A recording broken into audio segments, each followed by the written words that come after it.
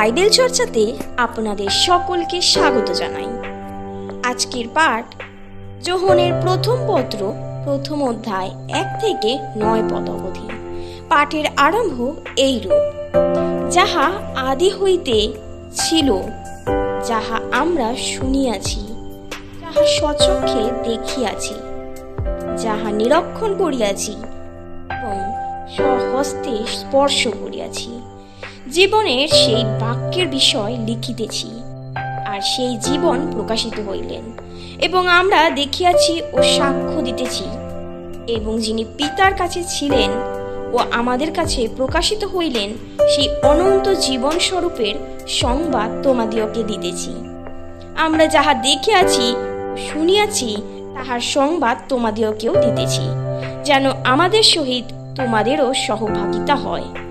আর আমাদের যে সহভাগিতা তাহা পিতার এবং তাহার পুত্র যীশু খ্রিস্টের সহিত। আমাদের আনন্দ যেন সম্পূর্ণ হয়। এই জন্য এ সকল লিখিতেছি। আমরা যে বার্তা তাহার কাছে শুনিয়া তোমাদিওকে জানাইতেছি, তাহা এই, ঈশ্বর জ্যোতি, এবং তাহার মধ্যে অন্ধকারের লেশ মাত্র নাই। আমরা যদি বলি যে তাহার সহিত আমাদের সহভাগিতা আছে। আর যদি অন্ধকারে চলি, তবে মিথ্যা বলি।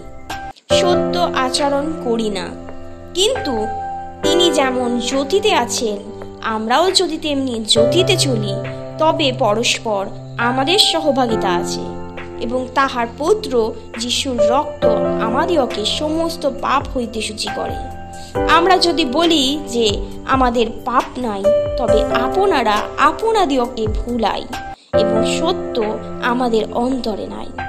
যদি আমরা আপন আপন পাপ স্বীকার করি, তিনি বিশ্বস্ত ও ধার্মিক, সুতরাং আমাদের পাপ সকল মোচন করিবেন এবং আমাদিওকে সমস্ত অধার্মিকতা হইতে সূচি করিবেন। যদি আমরা বলি যে পাপ করি নাই, তবে তাহাকে মিথ্যাবাদী করি। এবং তাহার বাক্য আমাদের অন্তরে নাই। আমেন। হাই পাঠের সমাপ্তি। ঈশ্বরের ধন্যবাদ। হোক